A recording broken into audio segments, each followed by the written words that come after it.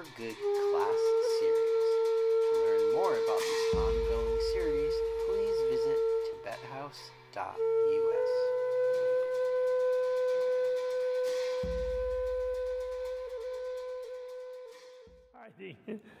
Uh, uh, we talked a little bit about the Guhya Samaja, the main unexcelled Yoga Tantra, Father Tantra. We talked a little bit about the Chakra Sambhara, the main Mother Tantra. Then the Kalachakra Tantra is in the subcategory of the Mother Tantra. Uh, but it is, its one uniqueness is that it's said to be the explicit Tantra, the Shinto Selve Yu, the very clear Tantra, whereas the other unexcelled Yoga Tantras, they kind of hide something back. Like in the Guhya Samaja Tantra, Chandrakirti, in his famous commentary on it called The Illuminating Lamp, he has a beautiful thing where he says that, first of all, in the root tantras, what are called the Vajra words of the root. Hello, William, how are you? What are called the Vajra words of the root tantra. Things are scrambled where you can't really understand them automatically what they really mean in the root tantra. I mean, they clearly, clearly say that. So then, second, there were the, one of the things that makes the Guhya Samaja special is that there were five what are called explanatory tantras or Vyakya tantras, which were also taught by Buddha in commentary on his own root tantra. So he taught a root tantra with Vajra words, then Vajra word explanatory tantra, but in which things are still scattered around. So they're not all like in one place in, the, in that. And then the uh, uh, different commentaries, they sort of sort them out and, but then finally, you have to have the direct precept of a guru, of a lama, uh, to sort of give you how to fit them all together. So there's like three or four stages of obscurity in the Tantra hermeneutic that Chandrakirti explains, which are called the seven ornament system of hermeneutic means theory of interpretation of tantras. There's a, which comes from India, not from Tibet. There are some scholars who think that the Tibetans made sort of Tantra obscure because they were all monks, and that Tantra was really a big, sexy thing and really, really weird, crazy stuff.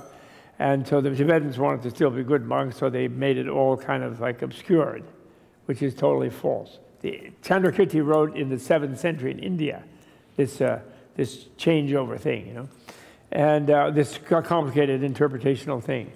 And in that, whereas in the exoteric system, the most direct explanation, let's say, of emptiness, rather than some hinted roundabout way of talking of, coming up with emptiness, is considered superior type of teaching, what they call definitive meaning teaching versus interpretable meaning teaching. But in Tantra, or then sometimes they call it intentional teaching, uh, teaching with ulterior intention, or explicit teaching. So the one with ulterior intention is like the interpretable one, the lower one, in the exoteric system. But in the esoteric system, the one that is more obscure is the higher one.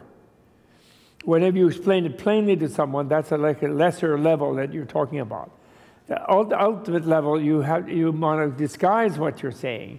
You do it by hinting and so forth. So, I mean, they don't really say why so, but I say so. The student has to figure it out themselves and they have a feeling that it's more internalized there, the way they do it. And of course, that's because Tantra takes people to this level where they're encountering the fear of death, the fear of melting, the fear of dissolution.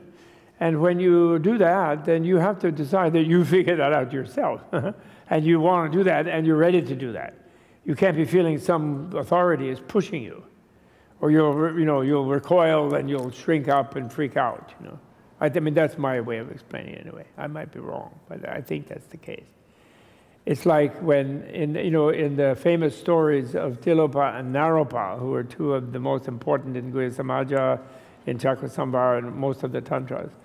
Um, you know, there are these 12 ordeals that Naropa had to undergo in his discipleship with Tilopa. And Tilopa would do things like, he would say, Oh, look at the queen on that elephant she really has so many beautiful gems she's wearing. If I had a real disciple, he would go and just take those jewels and bring them to me so I can give them to my girlfriend. Too bad I don't have any real, real disciple. So then Naropa, of course, runs over and attacks the elephant and tries to get the queen's jewels, and then the bodyguards of the queen beat him nearly to death. And then, and then the Tilopa comes up to him and says, Naropa, what, what are you, crazy? Why are you trying to steal the jewels from the queen? Who like, what, what's, the, what's the matter with you, you know? And then he goes like this, and then he's totally healed. So there are these 12 times he did things like that. Oh, if I had a disciple, he would jump off the cliff here. and Naropa jumps off but then he heals him, you know. Uh, does. and so they're a kind of symbol of the fact that to build a divine nervous system, you know, an open chakra, Kala chakra, chakra sambhara, Guhya Samaja, whatever, vajra yogini, Hevajra, your nervous system. In order to do that, you kind of have to shatter your attachment to yourself as an ordinary, and having an ordinary nervous system, you know, I think is what they mean although maybe he was a hard case and he really did have to go undergo all these medical triage things. So the Dalai Lama, by the way, he says, so therefore when you're a teacher and around in Tantra, you have to be very cautious. He says, especially I do, with all these hippies around here in Dharamsala. He said, he said, hey, if I said the real disciple would jump off the terrace here, some of them might jump off, he said. And he said, not only do I not have the ability to heal them just by passing my hand over them like Tilopa did, he said, but here in Dharamsala, we don't even have ambulance service. That's a great sense of humor, the Dalai Lama. Anyway, anyway, so so Kala Chakra is supposed to be its special virtue. An amazing thing about it is that it uh, it uh, it's most explicit type of thing, and there are some very explicit things in the Kala Chakra, and in a way, the inner, you know, the, if, look, if you look at